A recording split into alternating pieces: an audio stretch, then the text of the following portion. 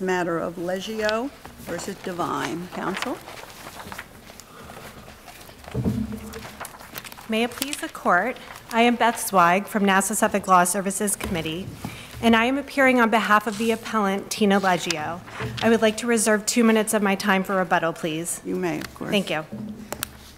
This is a case about a struggling family who lost their food stamps or SNAP benefits for one reason and one reason only. Two of the children in the household started college. Counsel, could we look at the, um, the regulation, right? 273.9, and it's the support and alimony payments, right? So it seems you agree on, on this point that it depends on where this income, this, this child support is going. Is it income of, unearned income of the mother, or is it unearned income of the child? And the problem, or the, the issue I have with your interpretation of this regulation, forgetting deference for, for a second, is it says support or alimony payments made directly to the household from non-household members. And if I take out directly to the household, your argument doesn't change at all. I mean, it seems to me you're reading this part of the reg to say support or alimony payments made from non-household members. Because then I would look, as I do with every other subdivision here, like wages, and say, whose is it? Is it the moms? Is it the, is it the students? So what does directly to the household mean, assuming we apply the rule that it has to mean something? We are not proceeding on the argument of 273.9, um, which discusses the payments made on behalf of non-household members used exclusively for the care and maintenance of non-household members. Rather, 273.5D specifically states that the income of ineligible college students shall be treated as handled in 273.11D. Um, so that provision is assume, not governing. Assume this wasn't an ineligible student for a minute. This provision I just read would apply.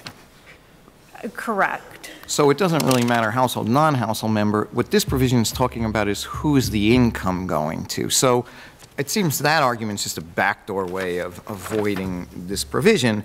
But this provision seems directly related to child support payments and how you are going to allocate them. So once you figure out that, and I think your adversary concedes, if it's income of the student, it goes to D and it's income of the student. But first we have to get by, I think, what does directly to the household mean? Because it seems, there's a very good argument to me that it means directly, where is it directly going? It's going directly to the mother in this case. The provision talks about if it's directly to the household, the question is whether it's used exclusively, according to that provision, whether it's used exclusively for the care and maintenance of non-household members. But where, are you, where do you find that? Uh, I, I believe that's in the direct language of the provision. Um, 273.9 specifically says that money received and used for the care and maintenance of a third-party beneficiary is not a household member. However, we aren't That's proceeding. it, but that's a Yeah, different, that's- that's a different subdivision. Yeah. That's sort of going, I think, to your alternative argument. C- Can I ask you about, there's a- in the record, there's a child support order, right? Correct. And that directs the payment be made to the SCU. Is that right? Are- It- As a factual matter, are the payments being made to the SCU? That would be the knowledge of the state respondent. Um, I, my understanding is that the SCU has been involved to some degree. Um, However, I so you don't know whether, you know, I'm just not- asking a factual question. Do you know I- whether the I- payments are going to the SCU or not? I can't answer that. I don't know. And that's the key provision in this case. Um, uh, More so than 273.5 even, um, is the Social Services Law, 111H4, which expressly resolves the dispute as to whether child support is income to the parent or the child, because um, that stat, That's why I asked the questions, because Right. that's dependent on whether it's going to the SCU, and you just told me you don't know whether it is. That, that would be information that the state So- respondent But when it would goes to have. SCU, then it, then it goes from there to someone else, right? And, and Do- Are you familiar with, so then the, the support order would say it's payable to so-and-so through the, through the support collection unit, right? My, I, I believe the SCU has been involved to some degree in this case, but I don't, I can't But answer. my point is that Yeah. SCU that then doesn't, well, the order probably would say, like, it might be in a, it might be in a support proceeding between two parents, and it would say it would be payable to the other parent through the support collection unit, right? Do- It, it, it may say that in, it, it might say that in the order if that were the case. Um, I, I, I, again, my understanding is that the primary method of collection and distribution of the child support funds in this case has been from the custodial, uh, non-custodial parent to the custodial parent, but that's just a mechanism of collection. And for the case to hinge on whether uh, the funds go through the support collection unit and then to the custodial parent and then to the child, or directly from the non-custodial parent to the custodial parent, uh, in our view, is, would be an arbitrary Well, I thought that's, distinction. I thought that's why you directed us to 111H4. Correct, because in 111H4, it means that in New York, the state legislature has already determined that for purposes of social services law, uh, child support is countable as income to the child instead of to the But parent. let's say that conflicted with this, and the federal regulation said, no, that we're going to do it this way. Who wins? The if the federal regulations were absolutely clear on who the child support income is countable to, um, then, then the federal regulation would win out. You know how it's treated for uh, purposes of taxes or anything of that nature? Um, For purposes of taxes, it's not countable, it's not deductible for the payee Right, but would it go on, do you, so, all right, so it wouldn't go on anybody's tax Correct. returns? Are are you familiar with the child support formula? To some degree. Okay, well, it's been a while since I practiced family law, but, but to my understanding, it's still the case that there is a formula, and that formula directs the non-custodial parent to pay a certain percentage of that parent's income as, you know, it's got a lengthy definition of how you define income, but once you get to that income number, you pay a certain percentage, and for one child, that percentage is or was 17%. For this, for two children, it was 25%. For three children, it was 29%, and so on and so forth. So it, it, it, that, for purposes of that formula, it's not a direct pro rata allocation that you can divide a child support payment if there are four children four equal ways.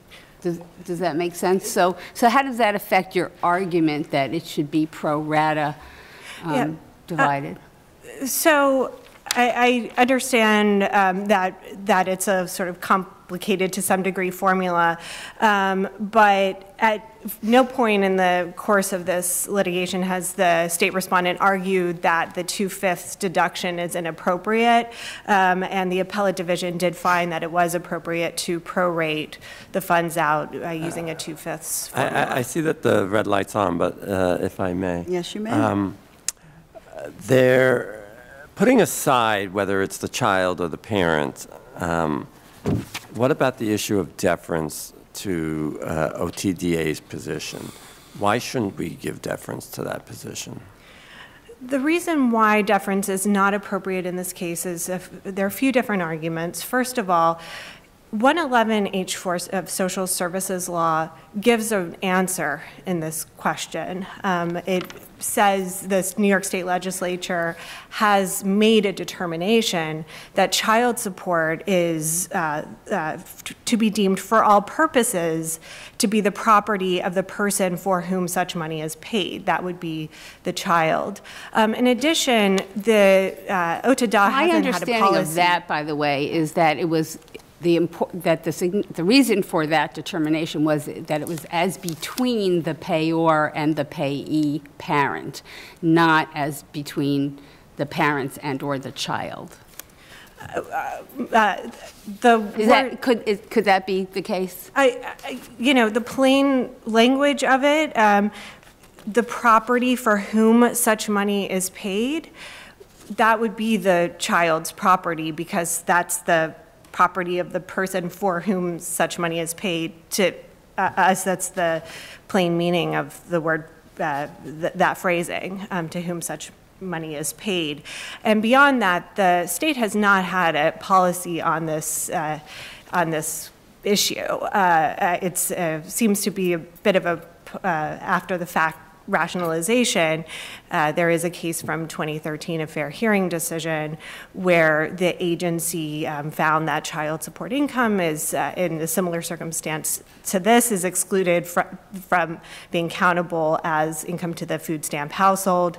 So there hasn't been a consistent policy of the agency. In addition, there's no administrative directive or informational letter or any other uh, policy on this subject. So uh, deference is not appropriate when there is an answer in social services law and there's no ex- pre-existing policy. Thank you, counsel. Thank you. Counsel?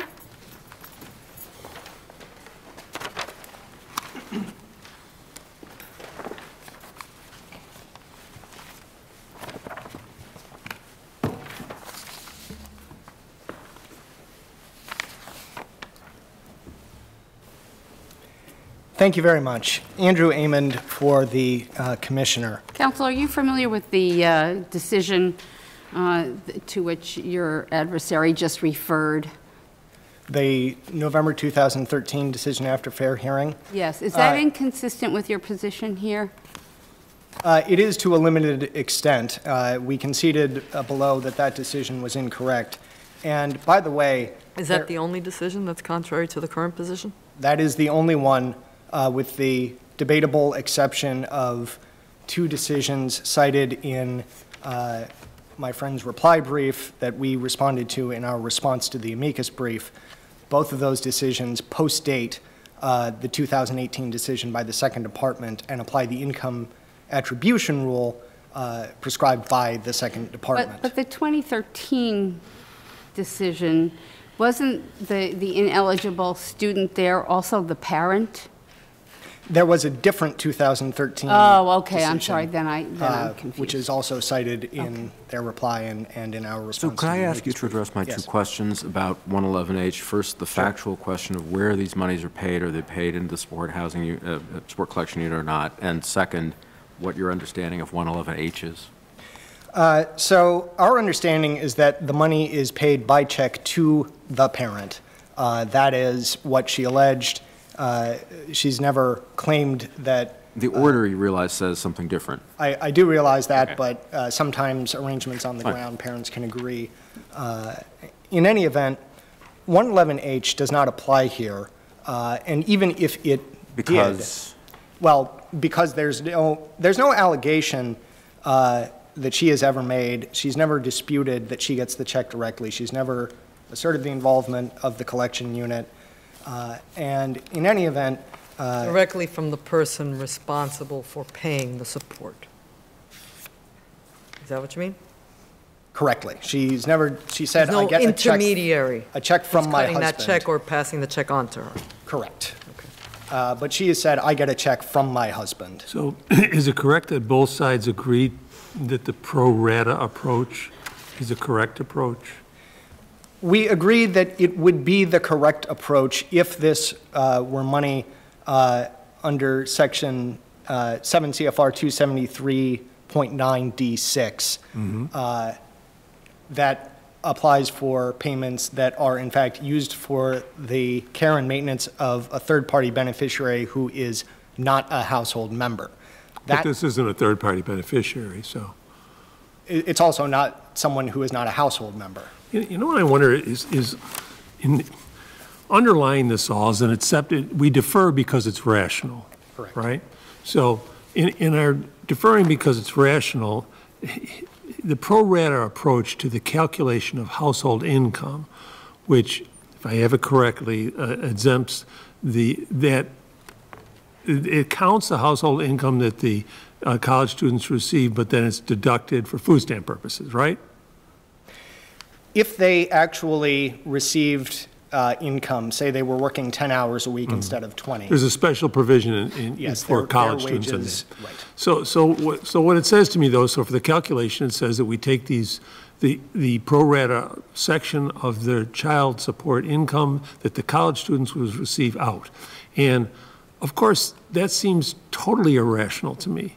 I know of no household in America that actually operates that way, where the money comes in and then it's divided by four or five, whatever the number is. And then you, you say, okay, this is for this child, and this is for this child, and this amount's for this child. That's not how rationally, how things actually operate, and it's, it, it seems, uh, um, to, to, to argue that a child support percentage assigned to each child is, is on its face irrational.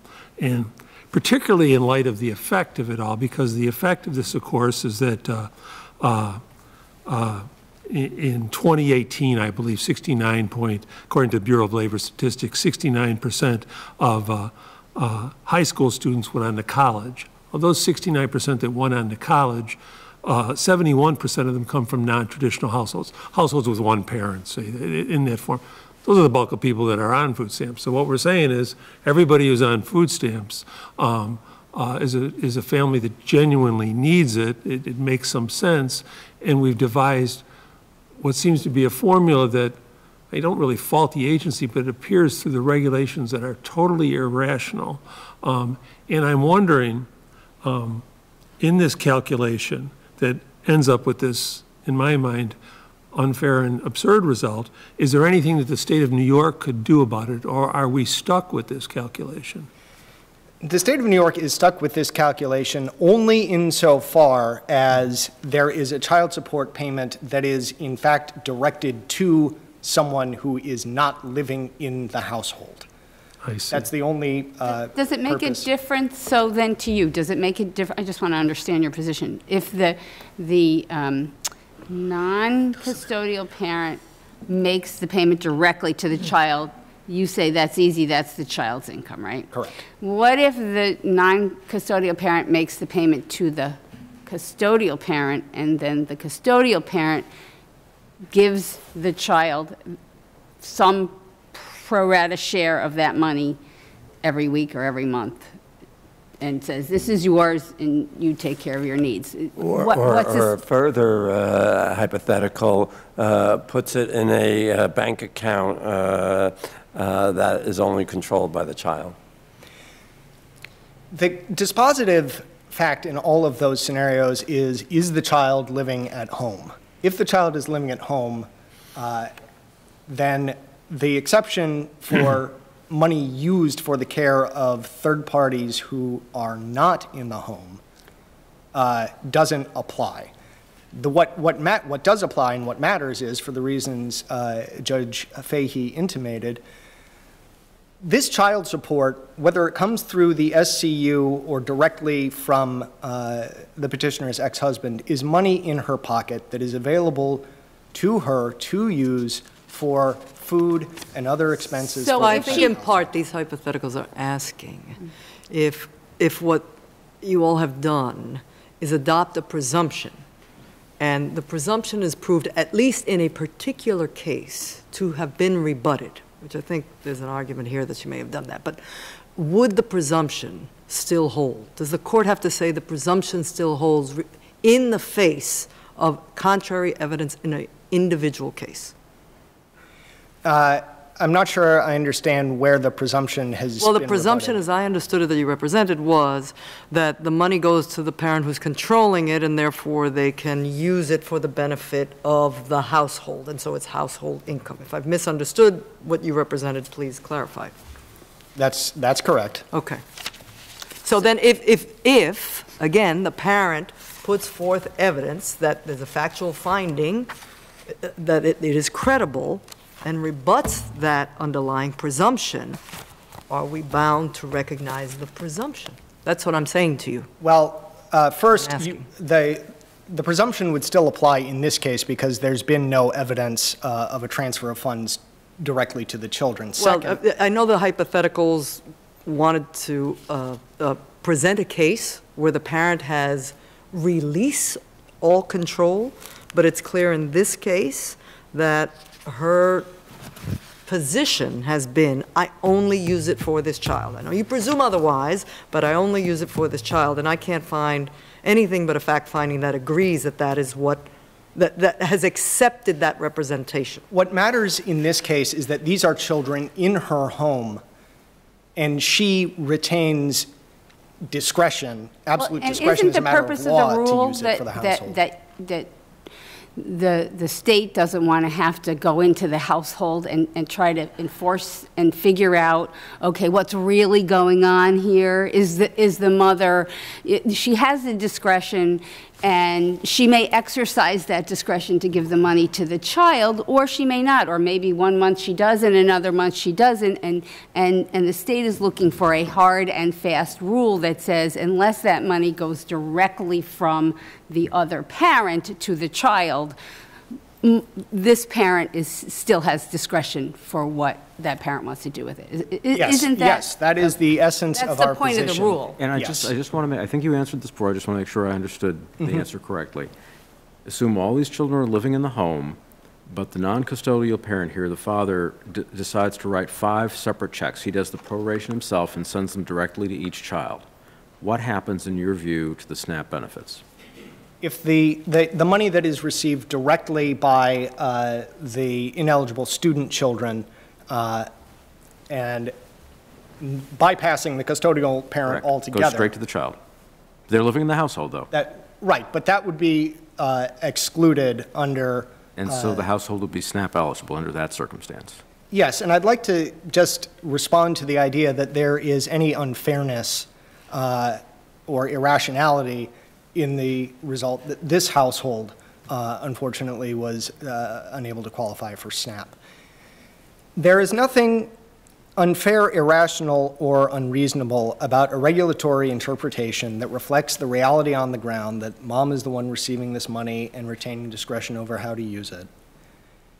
And applying that rationale in a way that provides an inducement for all of the members of the household uh, to become eligible for SNAP. An overall programmatic goal that's very important here is Counsel, your light is off, so before you have to sit down, I think you got the meat of your point out there. Uh, uh, I'm I'm not so clear why we have to decide whether or not the mother is the recipient of the child support or the child is the recipient of the child support, given I, I read the federal statute and the regs to mean child support counts. If you're a member of the household, even if you're ineligible, child support counts. Uh, uh, Tell me what uh, interrelationship of these provisions requires us to actually figure out this other question? The other question comes into play only if there is a child who is living outside of the household, who is not a household member, because there's a specific income exclusion in the SNAP Act and the state and federal regulations. Which is not this case. Which is not this case. Uh, And in an effort to be generous uh, as much as possible to parents, custodial parents receiving child support, OTDA has recognized that if a parent actually transfers the money to a student who is outside the home, then that deduction should apply. But that's not this case. So again, why do we case. have to resolve this question of whether it's the child's support or the custodial parent or the person who's responsible for receiving it and has control over it? Oh, sorry. Uh, The reason that it would matter in this case is that if the child support is truly deemed to be income of the, uh, the supported child, and even if 111H would make it otherwise the child's property, there's no dispute that the parent is the one to whom it's payable. Uh, The support order referenced by Judge uh, Wilson says that. Uh, That money, if it is their income, if they went out and got a job and worked 10 hours a week, they got their paycheck, they were controlling how they used their paycheck, then the federal regulations say that for an ineligible student, that money would be But I understood the regs to mean that a student, like the children in this case, mm-hmm. right? i- If they're not participating in, in, in a work program as explained and defined in the federal statute and the regs, you count child support in that household. It Doesn't matter whether it's the person who's receiving it, the adult, or the child. Am I misreading something? The misreading would be if there is a child support check, and this is exceedingly rare. This, I mean, these are already kind of unicorn cases, uh, but, you know, this would be a unicorn with sparkles or something. Um, Okay. Two, two unicorns. In that rare case, the child support would be treated as income uh, to the uh, child uh, because the parent never exercises, who's uh, the head of the household never exercises control over. Counsel, before you sit down with the Chief Judge's permission, I'd just like to go back to deference for a minute. Sure. Um, You know, I agree with Judge Rivera, I I believe there is a way to read these clearly, but if we were going on, on deference, we've already discussed that the agency arguably has one or, or more potentially inconsistent interpretations. It seems to me, in the examples you cite of other states, the position of the state agency is in- uh, codified in a manual at least, right?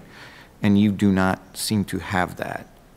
We have not reduced that position to uh, a, uh, an administrative directive Right. at this time. And We you also didn't write these regs, right? This We- federal well- government wrote them.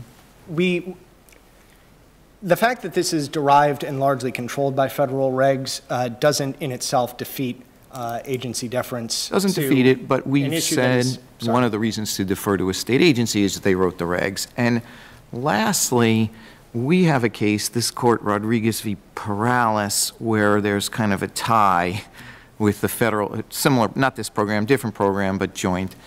Um, Federal government saying one thing, agency saying one thing, state saying another. We say, look, the feds wrote these regs, we're going to go with the deference to the federal agency.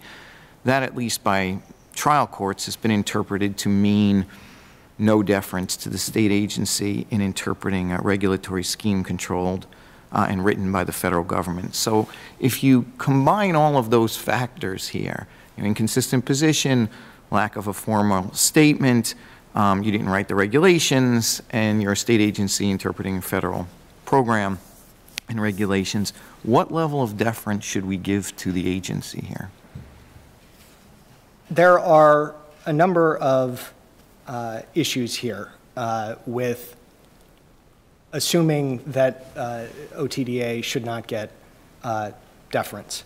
There uh, is the fact that while this is uh, a federal regulatory scheme that's implemented by the states, the states are given discretion, uh, including, and this is by the federal government, over the particular area of how to allocate uh, child support as income. Where is that? Where is, was that delegation found, the- of discretion? Uh, It's discussed in, in our brief. Uh, But it's a federal reg? How is it delegated to the state agency to interpret what's child support, how it's allocated? There's a general delegation by Congress and then by FNS to the states to implement, to adopt and implement reasonable uh, interpretations as necessary uh, to uh, That don't the scheme. otherwise conflict with the statute and the federal regs, correct? Correct. May I ask, So- did you include it in the state plan, this interpretation? The state We- plan you have to submit to the feds for approval? The state has otherwise, has otherwise made uh, FNS aware of its uh, position. FNS has not, they haven't said we're wrong, they haven't said we're auditing you, they haven't said give us the money back. How did, how did you make them aware? What does that mean? Uh, In this case, it was uh, an email communication uh, with representatives uh, at FNS. Um, Thank you, counsel. Sorry, there's just one more point I could respond to uh, Judge uh, uh, Gar- uh, Garcia. yeah, Thank you. Judge Garcia's question. having trouble with my name lately.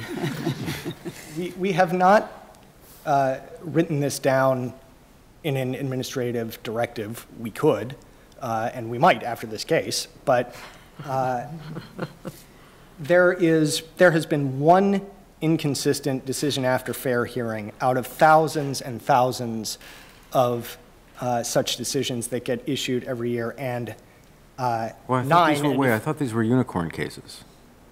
They are, but I mean, my you- daughter does have a thousand sort of sparkly unicorns, but Right. I didn't assume you did.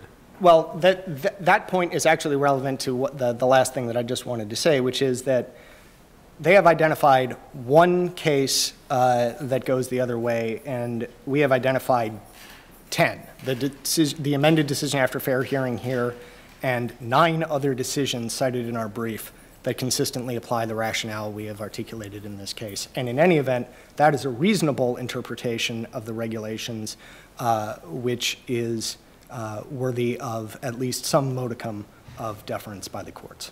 Thank you, sir. Thank you very Counsel? much.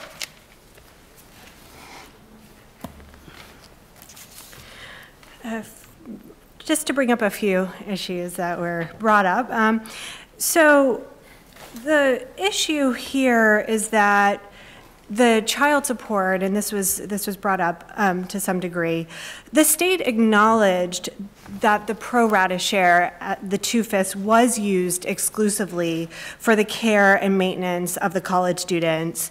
Um, And counting the child support against the four remaining household members, um, that is the uh, mother, Tina Leggio, uh, and the 16, 12, and 9-year-old children, that's a problem because in essence, the household ends up being doubly punished. But all Counsel, they let have me to just- do is, I'm sorry. is, is comply with the eligibility requirements for students, isn't, isn't that true? And then, then that changes the whole thing. it is true that they would no longer be ineligible students, um, and it is true that uh, 273.5D combined with 273.11 makes it absolutely clear that the income of the ineligible college student, that is the college student who is invisible to the SNAP household, that income is excluded from the SNAP household income. Okay. It is so- true so that. let- Let me just uh, Yeah. understand. So you agree that if child support is going to, let's just use this phrase for right now, the custodial adult, adult who's responsible to get, right, by court order, the, that that would count, right? That, that's the individual in the household, that would count towards the household income, correct? Not if it's used exclusively for the care and maintenance of the ineligible college student, but, but even. no, no, no. Uh, I don't sorry. think you understand. I'm sorry. The child Yeah. support is going to this individual, right? And they use it for the household, let me try it that way. You, you agree it counts? They, And, and, and, let me try it this way. Yeah, yeah. And if the child support is going to the college student, the at least minimum part-time college student, who then is not complying with the work requirements set out in the federal statute and regs, that that would also count, if they're part of the household. Do you mm. agree with that statement? No. Why uh, not? uh, Unless I, I might have misunderstood what you said. No, I'm, I'm Uh, sure I'm getting it wrong, but that's what I'm asking. Uh, The income of the ineligible college student, as long as it's countable to the ineligible college student, is not countable, is excluded. An ineligible student is a member of the household, not, not that they're a non-member, a member of the household who doesn't comply with the work requirements that, that such college student would be subject to. Doesn't that child support count towards the household? No, uh, college students are not subject to work requirements. There are specific eligibility guidelines laid out in Well, 273.5. They cannot be eligible if they don't satisfy work requirements unless they're otherwise excluded. they, there are a number of ways that students can become uh, eligible for food stamps. But if they're ineligible, it's as if they're treated as though they're invisible to the household. That's the way I look at it. Um, So it's, it's as if they don't exist in the household. So that would mean, in our estimation, that not only, so the household size actually decreases. In this case, the household size decreased from six members of the household to four members of the household as a result of, uh, and, and what that actually meant is the income eligibility levels and the maximum possible benefit level decreased accordingly. But then the income that was used exclusively for the care and maintenance of those children then counted against the four remaining household members. So what it did is it, in essence, doubly punished the kids for going to college. Could, could the adult who receives the child support use it for everyone but the child? Would that be permissible? if the, if it was used for everyone but the child, I, I actually do believe it would be permissible because of the social services law, Let- let me- um, let me- 111H4. But Can I- money's fungible, so th- this child support is coming in, and I think this is part of it too. And, and let's just say for the moment that, that mom, and maybe, who knows, some other family member, has, has their own earned income or other income. It all goes together and it all goes to pay for stuff, right? So how do you say whether that child support income is going directly to the child or not going directly to the child or is being used for everybody else and not the child? How, how can you even make that determination? Well, in this case, it was a state respondent who made the determination that the funds were being used exclusively for the care and maintenance of the ineligible students. Um, And it was brought up over the course of the hearing, but the state's amended decision made it absolutely clear that the that the pro rata share of the child support income was in fact used exclusively for the care and maintenance of the ineligible students. And by counting it against the four remaining household members, that child support income, what that means is that these students really should not be using the money for their own benefit, for their own food needs. If they aren't eligible for food stamp benefits, for SNAP benefits. And so the parents and the three uh, children can use it on Is- themselves. Isn't that about a policy choice, though? That we are not able to ignore? Well, it's, eh, that, that could be a policy choice, but what, we're saying that it shouldn't be. Can I, can I ask you this? Is there a way that the college students in this case could have been eligible uh, um, for food stamps uh, and, uh, and having, um, uh, and raise the divisor from four to six in this case? There Uh, is- How, how would that have been done? There is a mechanism. um, Tell me, if- how would it be done? uh, If, if they had participated in a work-study program. So for a instance. work-study program, somewhat, something that amounted to 20 hours a week, is that right? 20 hours a week is another provision. Uh, Some of these provisions are easier said than done um, in terms of. understand that, yeah. But, but there are ways that are laid out in 273.5 for students to become household members. Thank you, Counsel. Thank you. Thank you.